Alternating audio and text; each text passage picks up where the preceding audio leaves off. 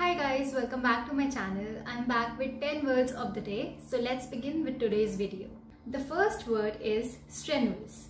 The meaning of strenuous is hard, tough or difficult. For example, the doctor advised him not to do strenuous exercises. The next word is sporadic. The meaning of sporadic is something that occurs occasionally or is irregular. For example, thousands of people died this year due to the sporadic disease. The third word is demarcate. Demarcate means to mark the limits or boundaries. For example, parking spaces are demarcated by white lines. The next word is splendid. The meaning of splendid is something that is very impressive or magnificent. For example, you look splendid in that outfit. The fifth word is amenable. The meaning of amenable is to be open to suggestions, responsive or manageable. For example, do you think the new manager will prove to be amenable to our proposals?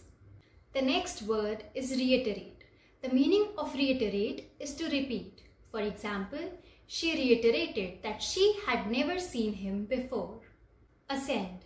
The meaning of ascend is to grow, rise or move higher.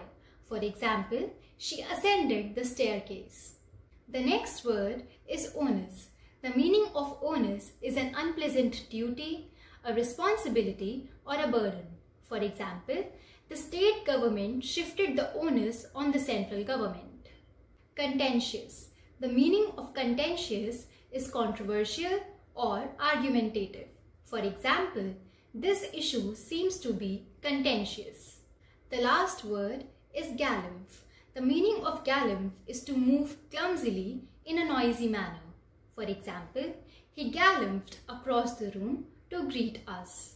Those were the 10 new words for today.